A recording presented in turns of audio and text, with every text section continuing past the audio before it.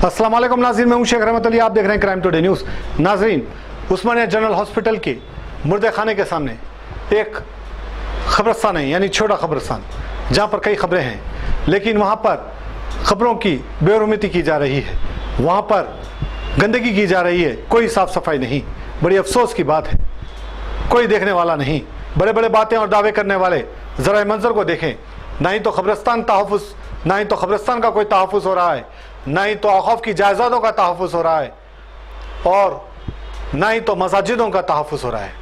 खुलेआम इस तरह की कामें करके ये बताने की कोशिश की जा रही है तो आप कुछ नहीं कर सकते।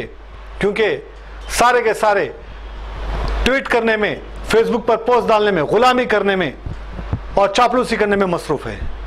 किसी की ये हिम्मत नहीं कि सवाल करें जिम्मेदारों से। बहरहाल हमारी ये ज़िम्मेदारी है कि ऐसे मंजरों को, ऐसे मंजरों को सामने लाने की, जो इस तरह से खबरें हैं और इस तरह से मसाजिदें हैं, इस तरह से खबरस्तानें हैं, जहाँ पर आहिस्ता आहिस्ता उसकी बेरोमती की जा रही है, उसको कब्जे किए जा रहे हैं। तकी रहमान की, ये रिपोर्ट देखिए।